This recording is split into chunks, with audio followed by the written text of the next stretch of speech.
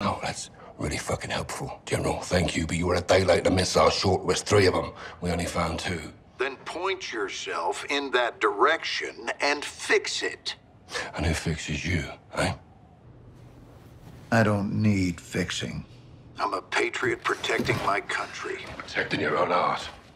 I do what needs to be done, and no one holds me down with a roll of red tape. I know what's best for the cause. You've lost your mind, General. and you've Forgotten what you're fighting for, John.